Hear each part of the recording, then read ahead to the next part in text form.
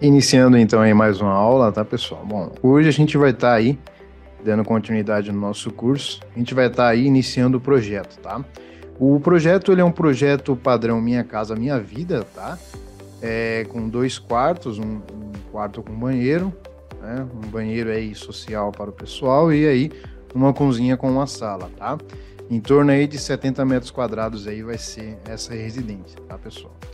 O comando que a gente vai estar mais utilizando nessa aula vai ser o comando WA, que é o comando parede, e o comando DI, que é o comando de medição para a gente poder estar ajustando aí o nosso projeto para as medidas corretas, tá? Bom, então vamos lá então. É, vamos apertar então WA, você pode estar apertando WA no seu teclado, que é o comando parede, ou vindo aqui em arquitetura, clicando aqui em parede, ó, tá vendo?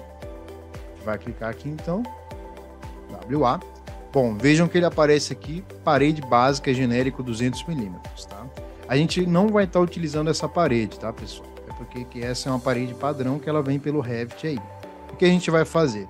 A gente vai editar e duplicar, tá? Então, tudo que você for criar como novo no Revit, você vai pegar um padrão genérico, vai editar o tipo, vai, você vai duplicar, né? Vai editar tipo, duplicar e coloca a medida correta que você deseja aí para o seu projeto.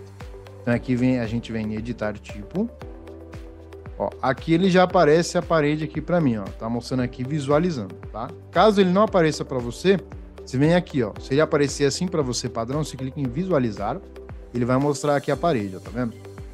Aí beleza, tranquilo então. O que a gente vai fazer? A gente vai duplicar e aqui a gente vai criar o novo nome da parede, tá? Eu vou colocar aqui como parede 15 centímetros, que é a espessura da minha parede aí que eu vou estar utilizando, tá? Vou dar um ok aqui.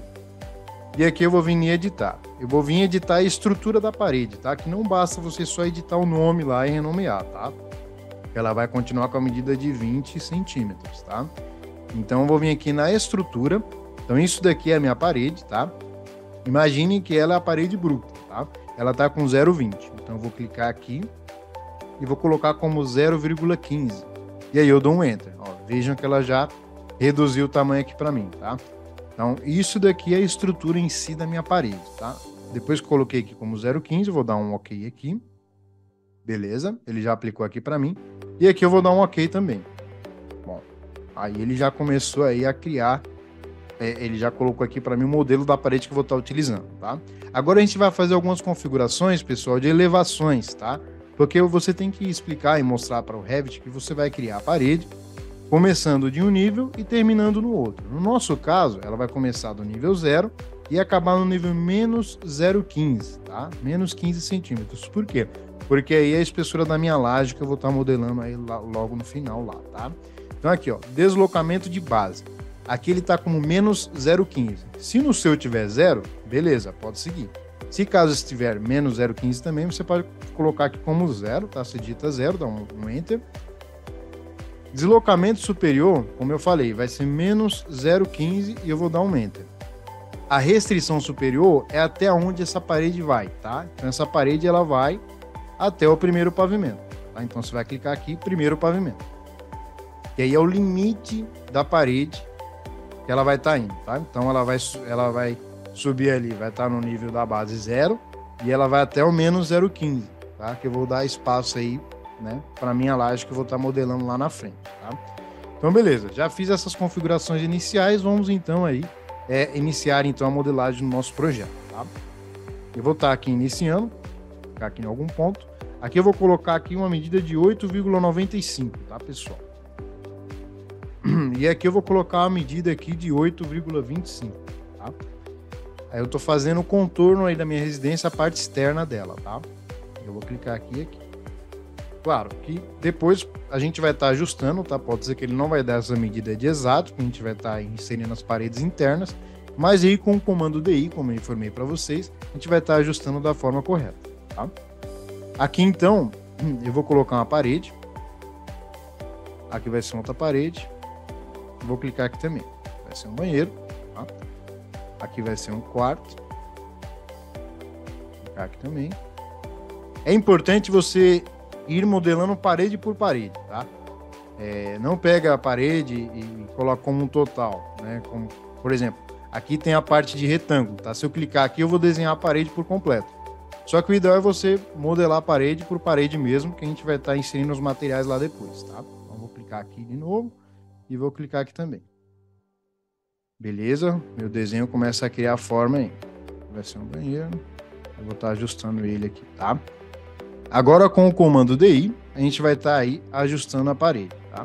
Então vou clicar aqui e aqui, 2,53. Na verdade eu vou querer ele com 1,50, tá? Então eu cliquei o comando DI, cliquei de uma parede, da face de uma parede até a face da outra, ele deu aqui para mim a medida de 2,53. No meu caso, eu vou clicar na parede que eu quero deslocar, tá? Então vou clicar aqui nessa parede e vou falar para ele que aqui é 1,50. Ele já vai ajustar aqui para mim. Beleza? E essa parede aqui, eu vou estar tá ajustando ela também. Então, vamos DI novamente, vou clicar aqui e aqui. E aqui eu vou colocar, vou clicar nela e vou colocar aqui como 3,50, tá? 3,50. Beleza? Olha só que diferença. Tá? Vou deletar, que isso daqui vai funcionar como um comando auxiliar para a gente poder estar tá modelando aí o projeto, tá? Dou um DI novamente. Vou clicar aqui e aqui aqui vai ser o banheiro do casal. 50 também. Beleza? Começando a criar forma aí. Vai ser um quarto e aqui vai ser o outro quarto embaixo. Beleza? Bom, vamos deixar esse quarto aqui com mais ou menos 3,15, tá? Beleza. Eu vou dar um DI aqui para ver a medida desse quarto aqui embaixo.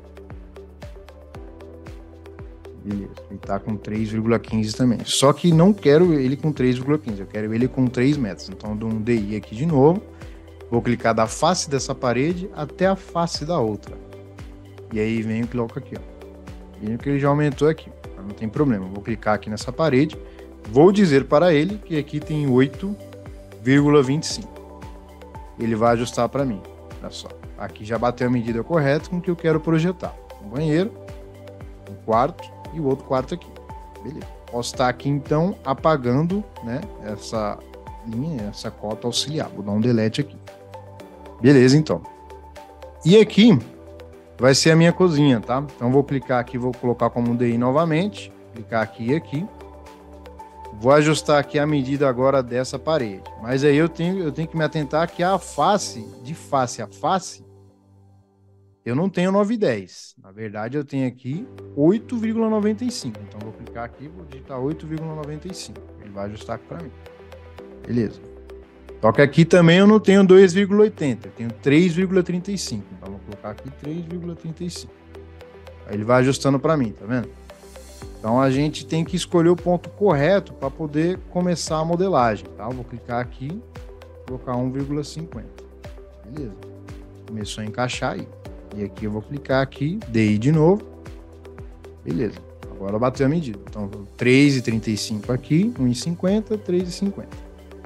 E aí tem a face externa de 2,50. Beleza. Bom, vamos lá então. Aqui, um caso curioso que a gente vai criar aqui uma meia parede, tá? Então vai ser uma parede aí até 1,30 de altura, tá, pessoal? E aí, aqui vai ser a minha sala. Aqui vai ser a cozinha, banheiro, banheiro aqui pro casal aqui da suíte e aqui um outro quarto, tá? Vai ser o quarto e aqui um outro quarto, né? Esse aqui com banheiro, beleza. Aqui vai ser a minha parede, tá? A intenção que a gente tem aqui é mostrar que é uma sala grande, né? Um acesso aí à cozinha também. Então a gente vai criar aqui uma nova parede. Então aqui é o comando WA. Eu vou editar tipo e vou duplicar ela, tá? Porque eu quero uma parede meia. Vamos colocar aqui parede. Eu posso escrever aqui como meia parede. 0,15 metros. Ou posso colocar 15 centímetros também. Tranquilo. Vou verificar se a minha estrutura está ok. Tá, beleza. Aí, aparentemente, está tudo ok aqui. Tá? Eu vou dar um ok aqui também. Só que o pulo do gato tá aqui, ó. Eu vou colocar que ela não tá ligada a nenhum pavimento. Por quê? Porque eu vou limitar a altura dela. Então, eu vou colocar aqui que ela não está conectada. A altura desconectada eu vou colocar aqui como 1,30, tá, pessoal? 1,30. E aí é a altura da minha parede, tá? Tem lá a meia parede, ela tem 15 centímetros de largura, e aí a altura dela é 1,30, tá? Então aqui eu vou estar tá aqui clicando daqui até aqui, ó. Posso estar ajustando aqui dessa forma, tá? Bom, agora eu vou abrir o corte para vocês verem como que vai ficar a altura dela, tá? Então vou vir aqui nessa setinha aqui, ó, corte. A gente vai estar aprendendo um pouco mais lá para frente de, dos cortes, das elevações certinho, tá? Mas é só para vocês verem como que vai ficar aqui. Vou clicar aqui até aqui, vou dar um ESC, tá? E aí eu dou dois cliques aqui na ponta, ó. Tá vendo que ele criou aqui para mim, ó? Se eu quiser confirmar essa medida, eu aperto DI, clico aqui na face e na outra face, 1,30. Tá essa aqui é a altura da minha parede. Beleza, posso fechar aqui e aqui eu posso estar excluindo também. Beleza, ele vai aparecer esse aviso aqui para mim, que eu vou estar excluindo o corte ali da vista. Posso dar um ok aqui, tá? Não tem problema. E aí, beleza. Agora, pessoal, vou estar aí confirmando aí, né, as minhas medidas aí desse projeto, tá? Então, vou dar um DI. Eu vou clicar aqui aqui também. Tenho 3,50, beleza. E aqui, até aqui, 4,30. Beleza. 4,30, beleza. Vou clicar aqui aqui também. 8,95, ok. Ele bate lá em cima certinho. Clicar aqui e aqui também. Beleza. Eu tô já cotando e confirmando aqui as medidas. A gente vai ter uma aula de cotas lá na frente, mas basicamente vai ser isso que a gente vai estar tá fazendo aí quando a gente for cotar o projeto inteiro? Então vejam que o meu projeto ele já começa a criar forma, tá? É, o modelo aí padrão é esse daqui, tá, pessoal? Então, a gente já iniciou, já fez a modelagem do projeto, tá? Eu vou criar, eu vou clicar aqui, ó, na vista norte, para vocês terem uma ideia, naquela parte que eu falei lá das elevações, tá? Olha só. Vejam que aqui tem um espaço, tá? Esse espaço aqui ele é de, de 15 centímetros, que é para minha laje. Então vou dar um DI aqui, é o comando DI, vou clicar aqui, aqui, ó. Eu tenho aí 15 centímetros aí de, de espaço, né? É, para você poder estar tá modelando a sua laje lá em cima, tá? Eu vou fechar aqui. Agora a gente pode vir aqui, ó, na vista 3D para a gente poder ver o que a gente está criando, tá, pessoal? Aqui no Revit ele é assim. É diferente do CAD, o Revit quando você faz uma linha, na verdade, ela não é só uma linha ela é uma parede com vários tipos de elementos que você pode estar tá informando aí para o sistema, tá? E baseado nisso, como a gente está fazendo o projeto aqui, ele é um proje projeto 2D, só que ele também é um projeto 3D. Então, quando você está projetando no Revit, você está fazendo um projeto 2D e 3D ao mesmo tempo. Se a gente vir aqui na casinha, ó, aqui em cima, a gente vai ver a vista 3D, ó, tá vendo? A gente já começou a modelar o nosso projeto. Aí eu vou apertar e segurar o Shift e o Scroll do mouse e vou estar tá girando aí, ó. Tá vendo? Esse daqui é o meu projeto. Ele já está começando a criar forma. A minha parede que a gente fez ali, né? O banheiro, cozinha certinho. E já começa a criar para mim, tá? Eu posso vir aqui no térreo de novo.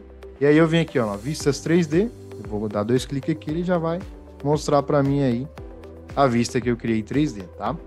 Então, esta aula é isso, tá, pessoal? É, basicamente, já, a gente já iniciou aí a modelagem do nosso projeto ao longo das aulas a gente vai dar continuidade aí e finalizando ele, tá?